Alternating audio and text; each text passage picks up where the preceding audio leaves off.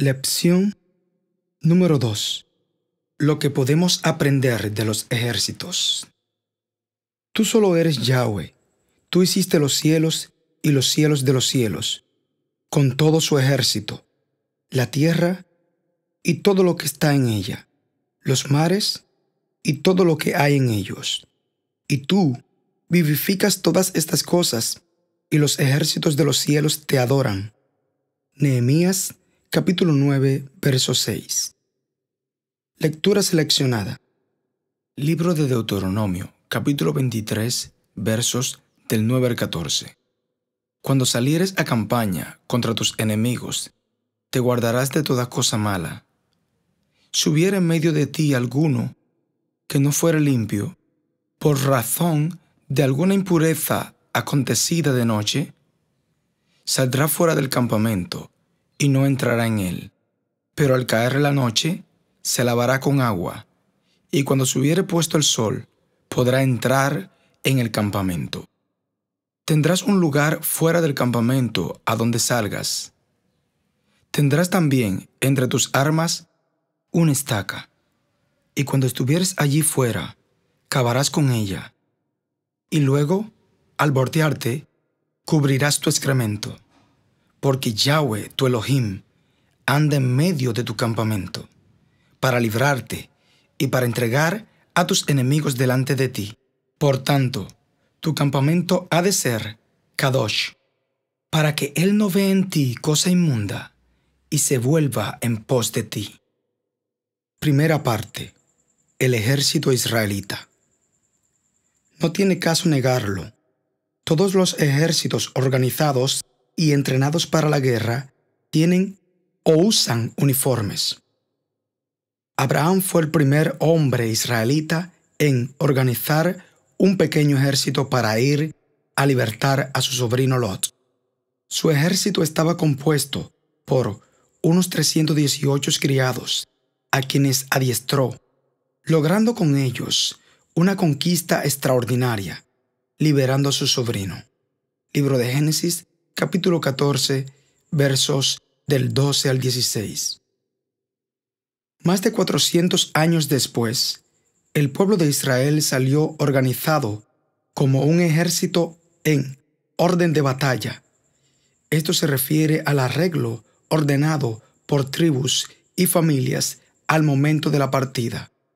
Moisés y Aarón escucharon cuando Yahweh les dijo, Sacad a los hijos de Israel de la tierra de Egipto por sus ejércitos, y subieron los hijos de Israel de Egipto armados. Libro de Éxodo, capítulo 6, verso 26, y el capítulo 13, verso 18. Sabemos que el ejército egipcio salió en persecución contra Israel. Este ejército tenía 600 carros escogidos y todos los demás carros de Egipto. Éxodo capítulo 14, verso 7. La historia nos confirma que cada carro egipcio solía llevar tres hombres, uno para dirigir los caballos y dos para pelear. Flavio Josefo nos dice que las fuerzas egipcias contaban con unos 250 mil hombres. La primera vez que el ejército israelita entró en combate fue contra los de Amalet. Estos atacaron a Israel en Refidim, en la región del monte Sinai, bajo la dirección de Moisés. Josué reunió rápidamente una fuerza de combate. La batalla duró casi todo el día, y a pesar de la inexperiencia de Israel en el arte de la guerra, ganaron la batalla porque Yahweh estaba de su lado. Libro de Éxodo, capítulo 17, versos del 8 al 13. Esta fue una gran batalla en la cual Moisés subió a la cumbre del collado con la vara de Yahweh en sus manos, llevando consigo a Aarón y al abuelo de Bezaleel, llamado Ur. Éxodo capítulo 31, verso 2. Y el capítulo 38, verso 22. La tradición judía, según Flavio Josefo, identifica a Ur como el esposo de María, la hermana de Moisés. En la cima de ese collado, Ur y Aarón sostuvieron levantadas las manos de Moisés hasta que Yahweh le dio a Israel la victoria. ¿Qué implicaciones tiene para el yahwista mesiánico la declaración de Yahweh según se registra en Éxodo capítulo 6, verso 26 y en el capítulo 13, verso 18? Sacad a los hijos de Israel de la tierra de Egipto por sus ejércitos. Y subieron los hijos de Israel de Egipto armados. Segunda parte. Israel organiza un ejército. Un año después del Éxodo, Israel organiza su ejército. Para lograr una movilización justa, realizaron un censo, activando al servicio obligatorio a todo varón que tenía más de 20 años. El número de los alistados en el ejército fue de unos 603.550. Libro de Números, capítulo 1, versos del 1 al 3 y el verso 45 y 46. Los que estaban exentos del servicio militar eran los levitas por efectuar un servicio especial. El que había fabricado una casa nueva y no la había estrenado.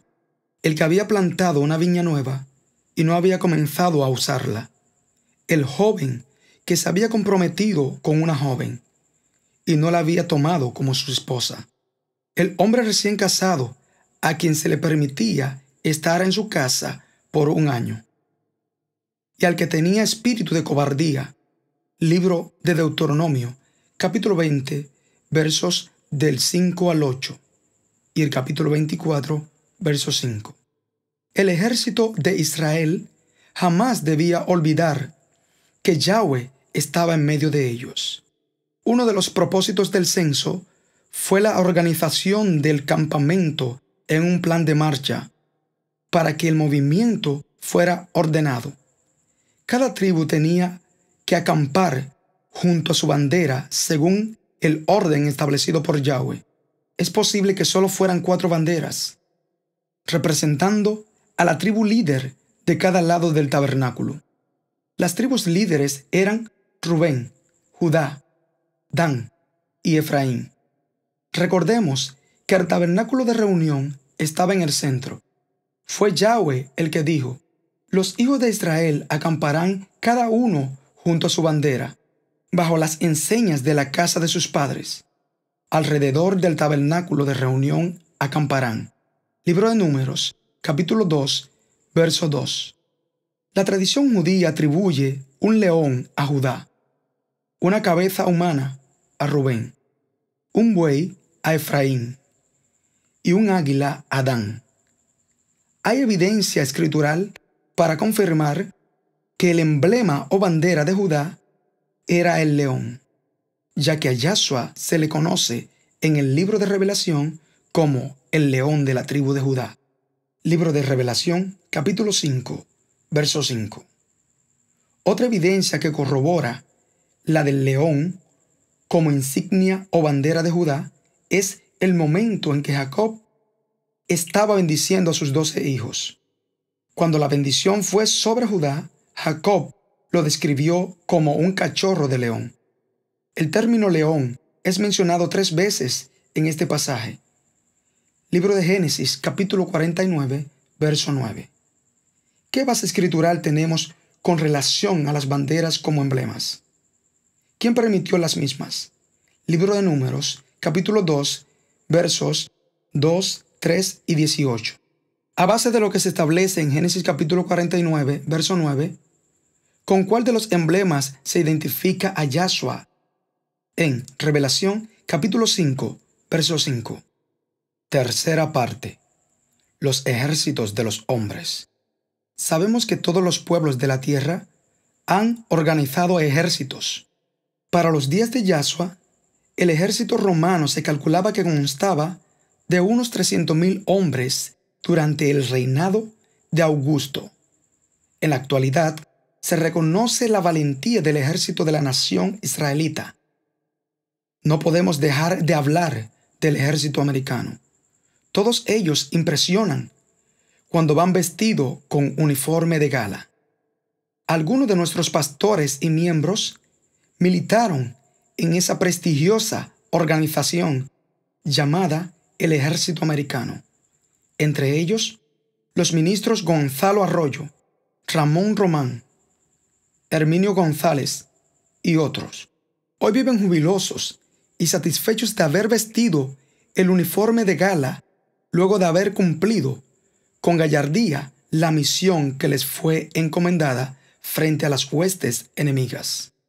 Estos valerosos soldados que ingresaron a las filas del ejército americano forzosamente, pocos voluntariamente, tuvieron que aceptar como obligatorias las normas y leyes impuestas por sus superiores.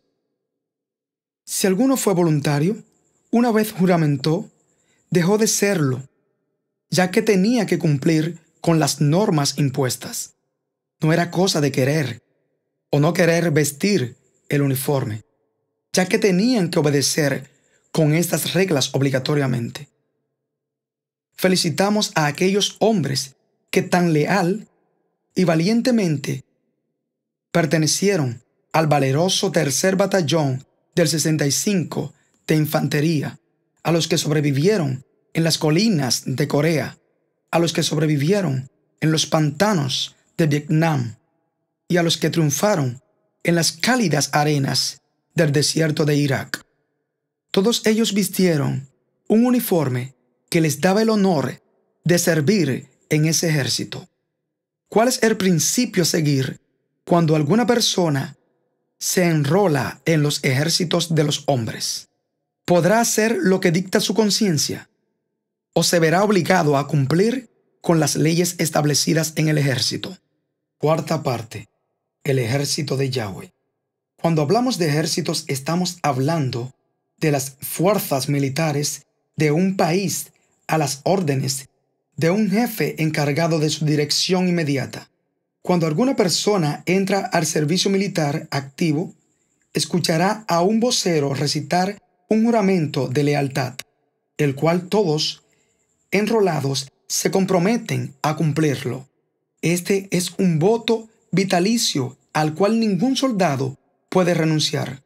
Sin embargo, en el ejército de Yahweh queremos hacer lo que nos viene en gana.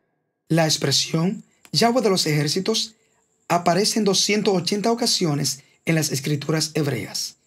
He aquí la primera de ellas.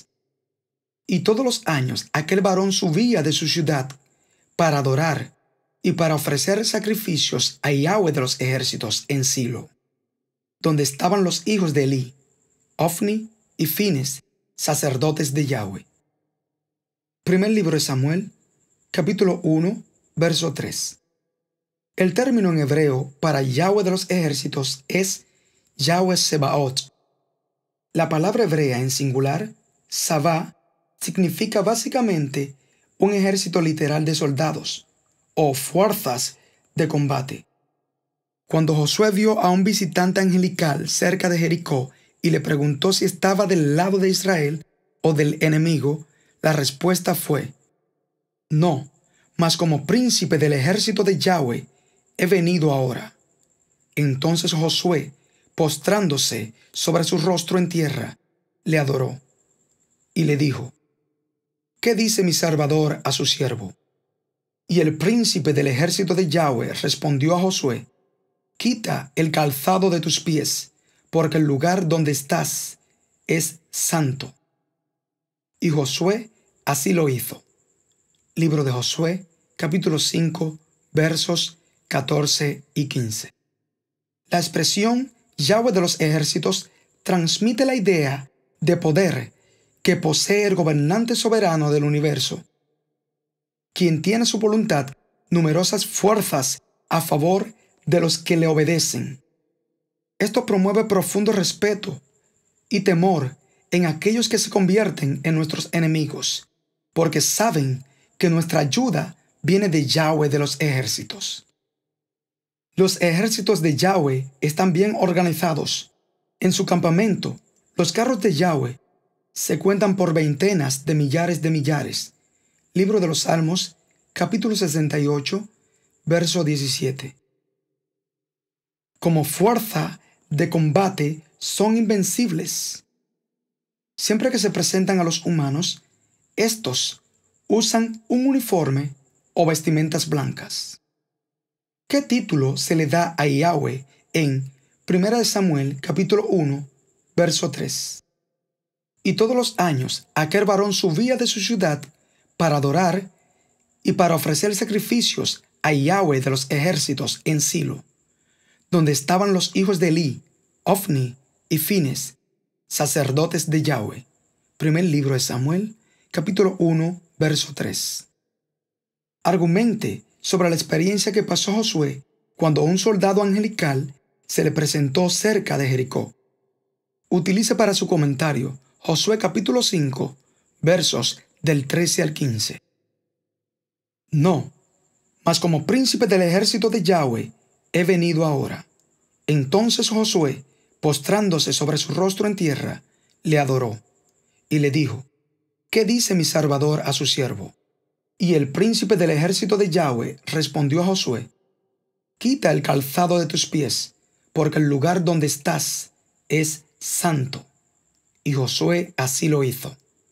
Libro de Josué, capítulo 5, versos 14 y 15. Quinta parte. La congregación comparada con un ejército.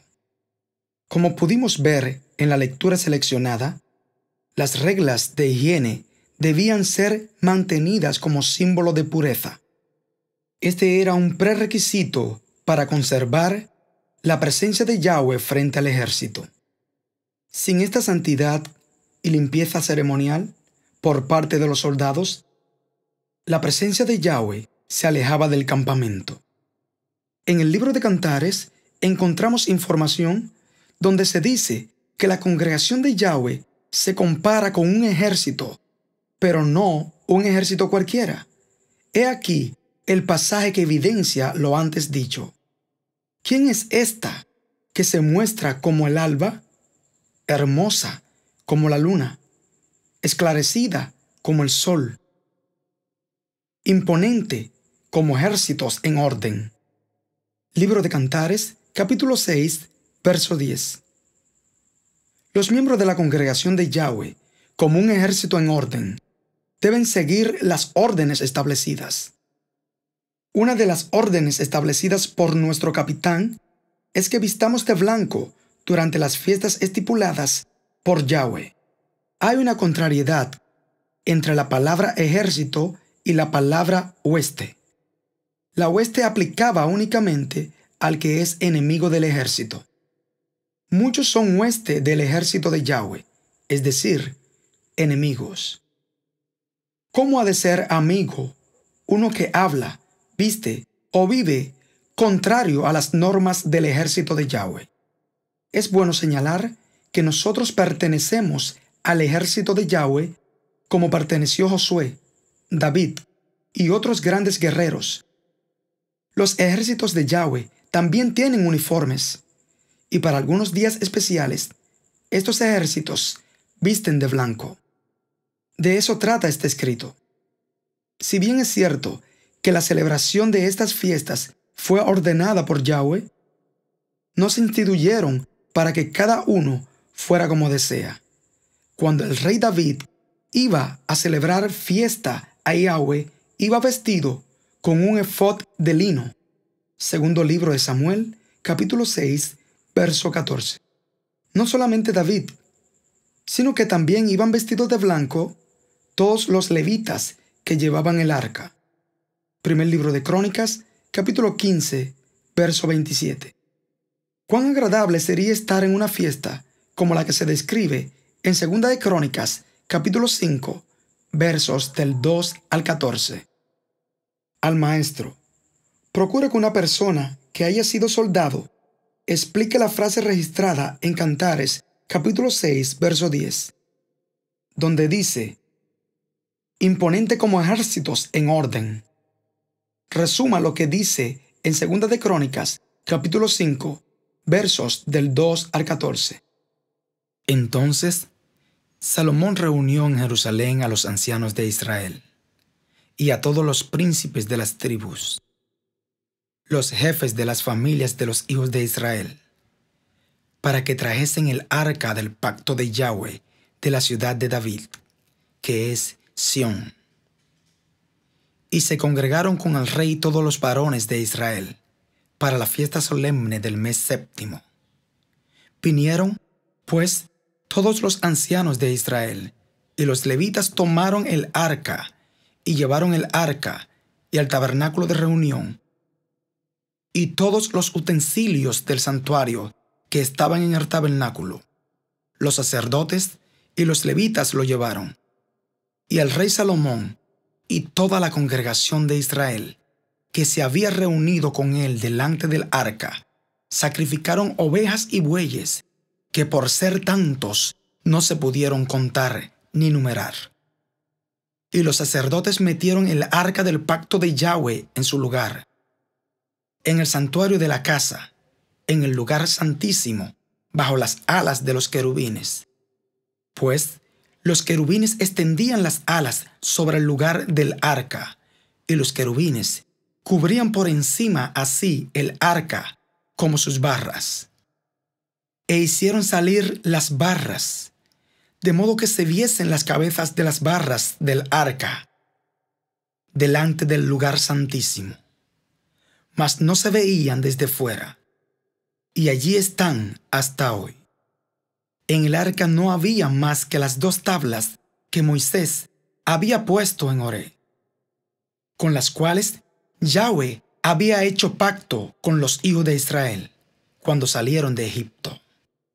Y cuando los sacerdotes salieron del santuario, porque todos los sacerdotes que se hallaron habían sido santificados y no guardaban sus turnos, y los levitas cantores, todos los de Asaf, los de Emán y los de Jedutún, juntamente con sus hijos y sus hermanos, vestidos de lino fino, estaban con címbalos y salterios y arpas al oriente del altar, y con ellos ciento veinte sacerdotes que tocaban trompetas. Cuando sonaban, pues, las trompetas, y cantaban todos a una, para alabar y dar gracias a Yahweh. Y a medida que alzaban la voz con trompetas y címbalos y otros instrumentos de música, y alababan a Yahweh, diciendo, porque Él es bueno, porque su misericordia es para siempre. Entonces la casa se llenó de una nube, la casa de Yahweh, y no podían los sacerdotes estar allí para ministrar, por causa de la nube, porque la gloria de Yahweh había llenado la casa de Elohim. Segundo libro de Crónicas, capítulo 5, versos del 2 al 14. Sexta parte. El beneficio de los uniformes.